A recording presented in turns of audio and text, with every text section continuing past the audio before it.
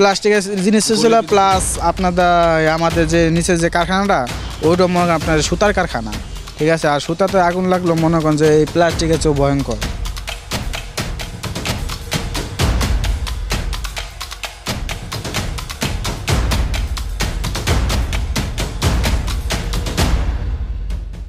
ভাই এক মিনিটের ব্যাপার হ্যাঁ, আগুন লেগে গেছে। আমরা ভাবছি কি যে ওই পাশে হয়তো পড়ে গেছে গা।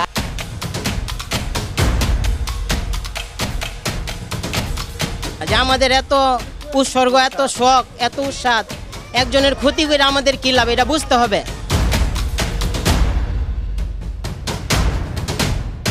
কি আপনারা কি করেন?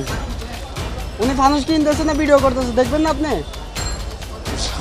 উনি নিউজ করতেছে।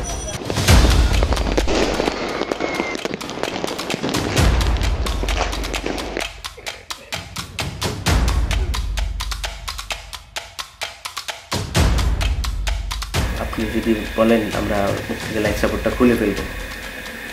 আপনি কি বলেন? তখন আমি বাবা হিসাবে আর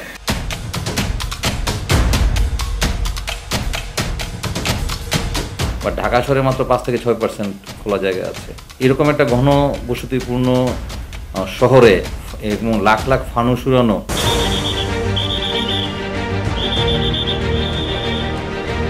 শত বাধা বিপত্তির মধ্যেও অনেক বর্ণিলভাবেই দু হাজার বাইশ সালকে স্বাগত জানায় দেশবাসী।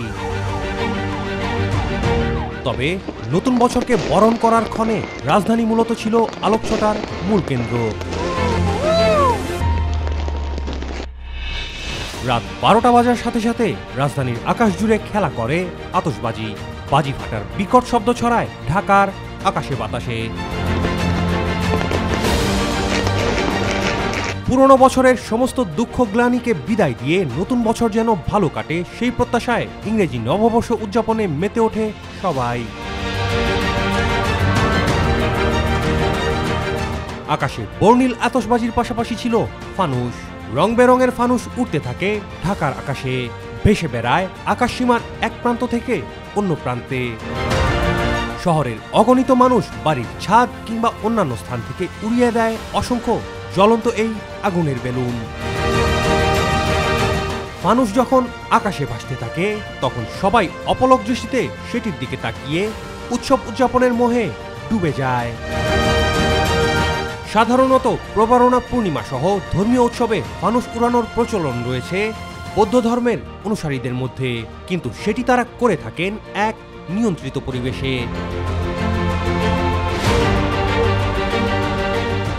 কিন্তু বর্তমানে জনবহুল নগরীতে গণমানুষের মধ্যে মানুষ উড়ানোর যে ট্রেন্ড তৈরি হয়েছে, সেটি নিয়ে করণীয় কি?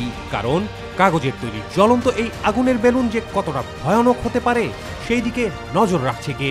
কারণ মানুষ তো কোনো খেলনা নয়। সুপ্রিয় দর্শক, স্বাগত সবাইকে। সেই সাথে সবার জন্য রইল নতুন বছরের শুভেচ্ছা।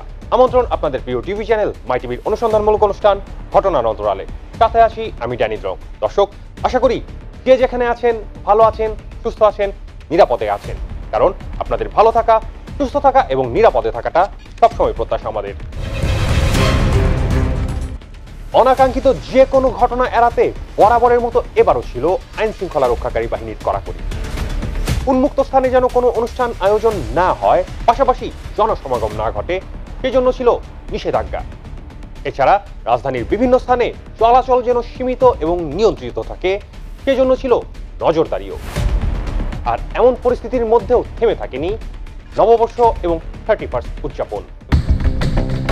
যেহেতু বাইরে উদযাপনের ক্ষেত্রে কড়াকড়ি, তাই ঘরে বসেই থার্টি ফার্স্ট এবং নতুন বছরকে স্বাগত জানায় মানুষ। আনন্দ উদযাপনের অন্যতম অনুষঙ্গ ছিল আতসবাজি ও ফানুস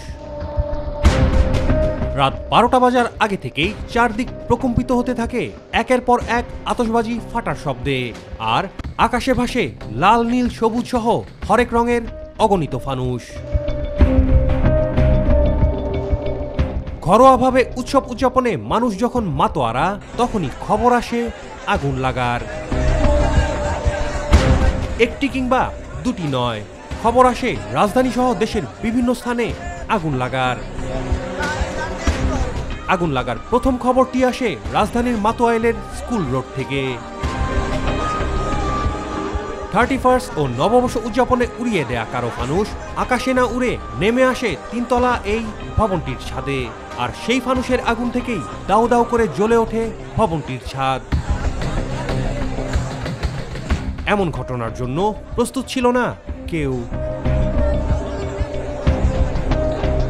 বাড়ির ছাদে ছিল ফল রাখার প্লাস্টিকের শত শত ঝুড়ি, যার ফলে আগুনের মাত্রা বাড়তেই থাকে। সেই আগুনে পুড়ে যায় পাশের ভবনের কিছু জিনিসপত্র।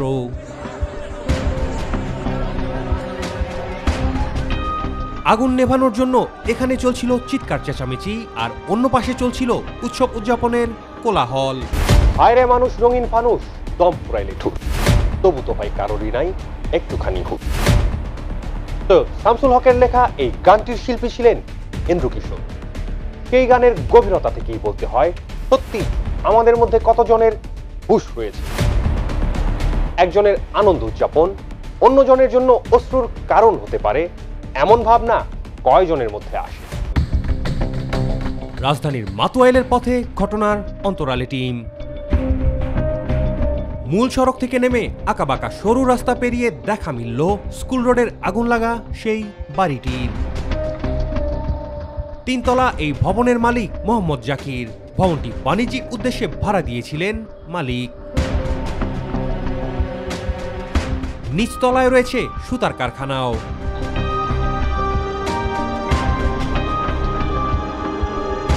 ভবনের এই বাসিন্দা জানালেন, ছাদে এই স্থানেই ছিল ফল রাখার প্লাস্টিকের শত শত ঝুড়ি। একত্রিশ ডিসেম্বর রাতে কোথাও থেকে একটি ফানুস এসে পড়ে এসব ঝুড়ির উপর। আর ফানুসের সেই ছোট্ট আগুনই জ্বালিয়ে দেয় সবকিছু। মানুষজন দৌড়াদৌড়ি করতেছে, তখন আবার আমাদের একটা ইয়ে হলো যে আমাদের এখানে কারখানা আছে। ঠিক আছে, তো আগুনটা যেহেতু বলতেছে এদিকে লাগছে, তাহলে আবার আমাদের কারখানা লাগল কি না তখন আমি আর আমার এক ভাই, বড় ভাই ছিল, একসাথে দৌড়ে বাইরে বাইরের পরে দেখি পুরো আগুন দৌড়ে গেছে গা। ঠিক আছে তখন প্রচুর পরিমাণে মানে শুরু তখন। ঘটনার আকস্মিকতার জন্য প্রস্তুত ছিল না কেউ। কে কি করবেন কীভাবে নিয়ন্ত্রণ করবেন আগুন তা যেন বোধে আসছিল না কারও।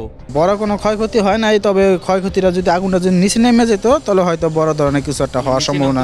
প্লাস্টিকের জিনিস ছিল প্লাস্টিকের জিনিস ছিল প্লাস আপনাদের আমাদের যে নিচের যে কারখানাটা ওইটা মনে আপনার সুতার কারখানা। ঠিক আছে আর সুতাতে আগুন লাগল মনে করেন যে এই প্লাস্টিকের চেয়েও ভয়ঙ্কর। এই ছাদের উপর দিয়েই আবার টানা হয়েছে গ্যাসের লাইন। এটি পুরে গ্যাস লিক করলে আগুনের পরিস্থিতি হতে পারত আরও ভয়াবহ। ক্ষতি হয় পাশের ভবনেরও।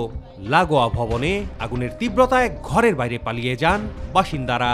সে আমার পক্ষে তো ওই সময় সম্ভব না কিন্তু আমার পাশের সবাই আমার সবাই পানি দিচ্ছে। জানতে পারছেন যে বড় আগুন লেগে গেছে। আমি তো ওই সময় ছাদেই আমরা। পরে হঠাৎ করে ওদিক থেকে চিল্লাইতেছে আগুন আগুন।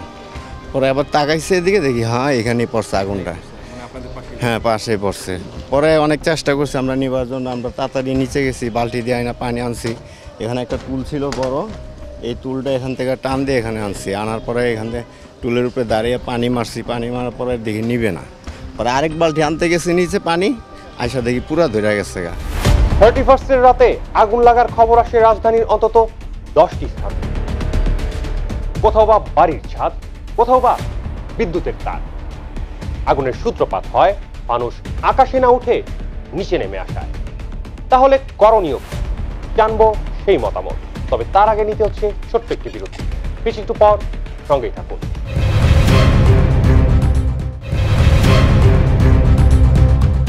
বিরতির পর আবারও স্বাগত আপনাদের সবাইকে।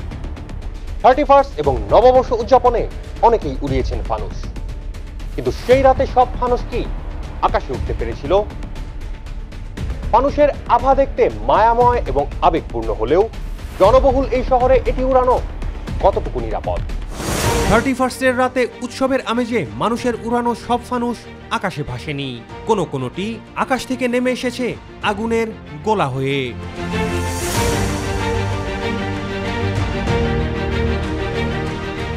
আগুন লাগার খবর পাওয়া যায়। রাজধানীর মাতুয়াইল, তেজগাঁও, ধানমন্ডি, রায়েরবাগ সহ অন্তত দশটি স্থানে। আকাশে উড়ানো ফানুস কোথাও গিয়ে পড়ছে বাড়ির ছাদে, আবার কোথাও জড়িয়েছে বিদ্যুতের তারে। গণিত বলছে, আগুনের তাপে উত্তপ্ত বায়ু ফানুসকে উড়িয়ে নিয়ে যায়। সাধারণত ফানুসের নিচে বাঁধা মোম বা কাপড়ের টুকরো আকাশেই পুড়ে ছাই হয়। কিন্তু গণিত ভুল হয়ে মানুষের ত্রুটি কিংবা বিন্দুমাত্র ছিদ্র থাকলে তা না উড়ে নেমে আসে মাটিতেই। আর জনবহুল শহরে আকাশ থেকে নেমে আসা এমন আগুনের টুকরার জন্য প্রস্তুত নয় কেউ। ফালসটা যখন উড়ে যখন পরে তখন আমি আর কি দেখছি? যেমন আনন্দ করো আনন্দ তো বহুত প্রকার আছে। আনন্দ করো আল্লাহর কাছে ফরিয়ত মানো।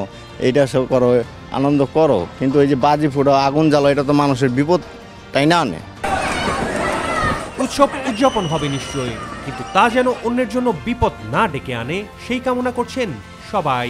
আমাদের এত উৎসর্গ এত শখ এত উৎসাহ একজনের ক্ষতি করে আমাদের কি লাভ এটা বুঝতে হবে। আজকে যখন আমার ক্ষতিটা হয় তখন আমি ঠিকই বুঝব যে এটা করা ঠিক না। বোধগম্য হয় না যে একজনের উৎসব আরেকজনের কেন মানে ক্ষতির কারণ হয়ে দাঁড়াবে। কিন্তু কামনা করলেই তো হবে না। যেতে হবে সূত্রের গভীরতায়। কারণ গত কয়েক বছর আগেও এত প্রচলন ছিল না মানুষের। তবে এখন কেন? কীভাবে বা বস্তুটি এত সহজলভ্য হচ্ছে, দেখতে হবে সেই চিত্র। রাজধানীর পুরান ঢাকার চকবাজার এলাকা। হরেক রকম পণ্যের পসরা এখানে। দেশের বিভিন্ন প্রান্ত থেকে ব্যবসায়ীরা এখান থেকেই পাইকারিতে পণ্য নিয়ে যান। তথ্য মতে হাত বাড়ালেই ফানুস পাওয়ার উৎস এখান থেকেই। পাইকারিতে এখান থেকে অত্যন্ত কম দামে ফানুস কিনে নিয়ে যান অনেকেই যার ফলে পাড়া মহল্লার বিভিন্ন দোকানে যেন হাতের নাগালে এই বস্তু। ক্রেতা সেজে ফানুস কেনার জন্য ঘুরতে হলো কয়েকটি দোকান। পড়ে গেল। আপনারা যারা কিনে তাদেরকে কি ঠিক মতো বুঝায় দেন? যে কেমনে উড়াইতে হয় এটা বুঝায় দেন তো ঠিক মতো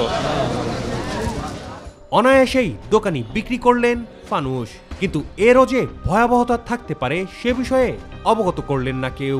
কীভাবে উড়াইতে হয় এটা মানুষদেরকে বইলা দেও? এটা মানুষই জানে কওয়া লাগে না। আমাদের প্রশ্ন শুনে উত্তেজিত হয়ে গেলেন দোকানের আরেক কর্মচারী। কেন সংবাদ করা হচ্ছে ক্ষিপ্র হয়ে জানতে চাইলেন সেই কৈফিয়ত। কি আপনারা কি করেন? উনি ফানুস কিনতেছে না ভিডিও করতেছে দেখবেন না আপনি? উনি নিউজ করতেছে। নিউজও করতেছি সাকরাইন সামনে। তো আপনি উত্তেজিত হইতেছেন কেন? আপনার প্রবলেমটা। কি? প্রবলেম কিছু না আপনি এটা কেনই করবেন? দোকানি শুধু বিক্রি করার মধ্যেই ক্ষান্ত কিন্তু তাদের কি উচিত নয়? পাহাড়ি এই বস্তুটির ভয়াবহতা এবং এটি উড়ানোর নিয়ম সম্পর্কে ক্রেতাকে অবগত করে দেয়া বিবেচনার ভার আপনাদের হাতে ছাড়তে চাই। কিন্তু অন্যদিকে যে ঘটে গেছে অত্যন্ত এক দুঃখজনক ঘটনা। অপেক্ষায় থাকুন জানাব সেই ঘটনা। তবে তার আগে আবারও নিতে হচ্ছে ছোট্ট একটি বিরতি। বেশ একটু পর সঙ্গেই থাকুন।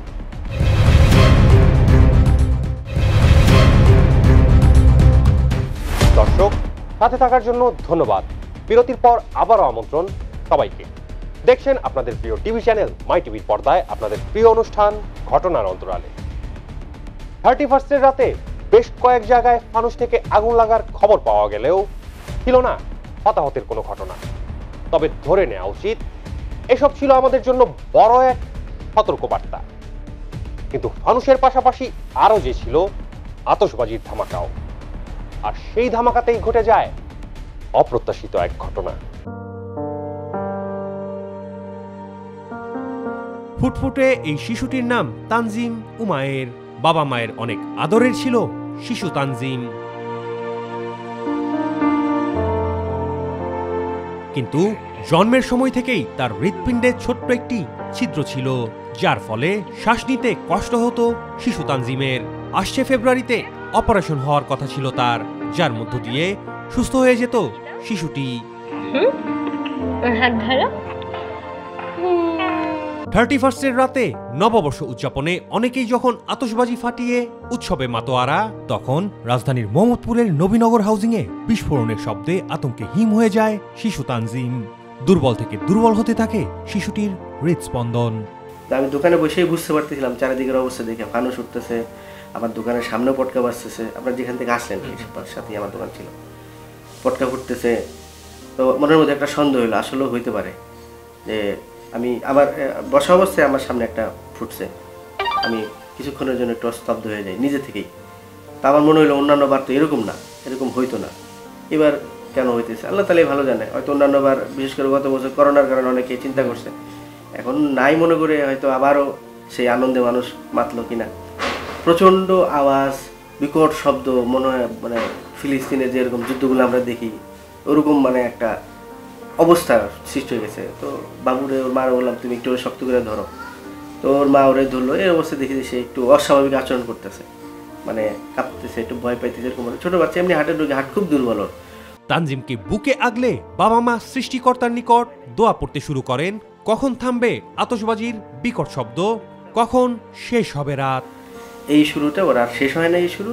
পরে ডাক্তার কাছে নিয়ে যায়, ডাক্তার দেখে মানে অস্থির হয়ে গেছে যে এটা তো খুব সিরিয়াস অবস্থা। আসলে দেখছি, অন্যান্য বাচ্চারাও ওয়েটিংয়ে আছে, তার গার্জিয়ানরা নিয়ে, কিন্তু অতটা আমার বাচ্চার মতো সিরিয়াস ওখানে এই মুহূর্তে কেউ ছিল না। ডাক্তার নিয়ে যাবে, ডাক্তার বলল যে কিচ্ছু করে না, এবার এই মুহূর্তে ভর্তি করাইতে হবে। ইমার্জেন্সিতে ভর্তি করাই কিন্তু অনেক চেষ্টার পরও তানজিমার চোখ খোলেনি। অনেক চেষ্টা করেও চিকিৎসকরা আর ফিরিয়ে আনতে পারেননি শিশু তানজিমের হৃদস্পন্দন। ডাক্তার আবার বলল যে ডিসপ্লেতে তাকাইতে বলল দেখেন আমরা অনেক চেষ্টা করছি। তো ওর হার্ট ফিরে আসে না ও হার্ট ফেল করছে। দেখেন সব সমান। ওই আমরা এরকম রেড দেখি না ওটার ডিসপ্লে সব সমান। তো আপনি যদি বলেন আমরা মুখ থেকে লাইফ সাপোর্টটা খুলে ফেলব। আপনি কি বলেন? তখন আমি বাবা হিসেবে আর আমি বললাম যে, একটু যদি চেষ্টা করা যায়। আরেকবার চেষ্টা করে দেখেন স্যার। কিছু হয় কিনা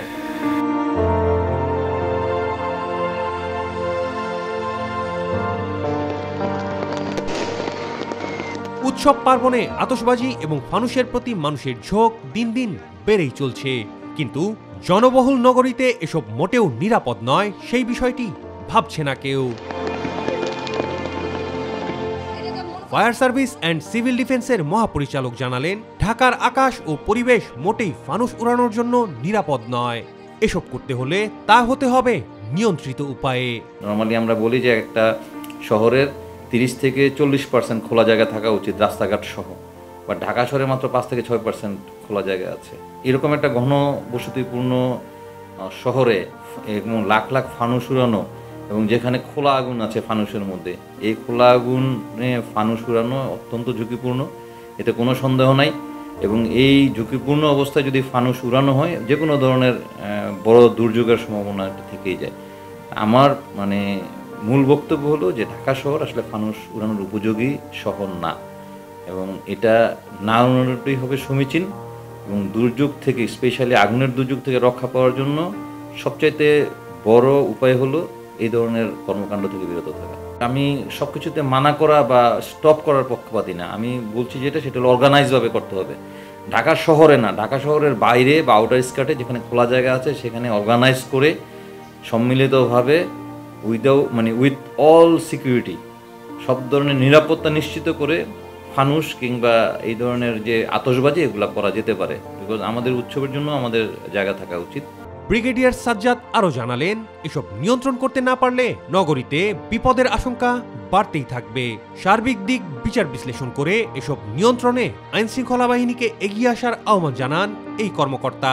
সাকরাইন উৎসবটা এটা একটা মানে পুরনো ঢাকাবাসীদের জন্য একটা খুব বড় উৎসব। এটা আমি মনে করি যে এটা ঘুরিয়ে মধ্যেই সীমাবদ্ধ রাখলে আমার মনে হয় সবচেয়ে ভালো হবে। এই সাকরাইন উৎসবের সঙ্গে আতশবাজি কিংবা ফানুস উড়ানোর প্রোগ্রামটা না করলেই আমার মনে হয় ভালো হবে এবং সেটাই করা সমীচীন হবে। মানুষকে সচেতন করার যেই ব্যাপারগুলো আছে, গণসংযোগগুলো, সেটা আমরা করে থাকি। বাট এটার ব্যাপারে বা নিষেধাজ্ঞা বা অন্য কিছু যদি করতে হয়, তাহলে আইনশৃঙ্খলা বাহিনীকেই করতে হবে। কেননা এটার এখতিয়ার আমার মধ্যে নাই। পরিশেষে তাই আবারও বলতে হচ্ছে, উৎসব হবে, আনন্দ হবে হবে হাসি গান। কিন্তু একজনের আনন্দ উদযাপন যেন অপরের কান্নার কারণ না হয়, সেই বিবেকও থাকতে হবে।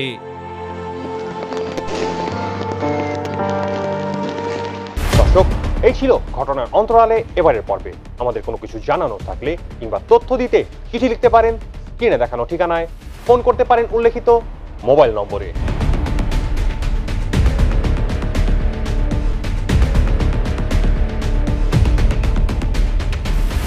প্রিয় দর্শক, আজকের মতো নিতে হচ্ছে বিদায়। দেখা হবে আগামী পর্বে নতুন কোনো ঘটনার অনুসন্ধান শেষে।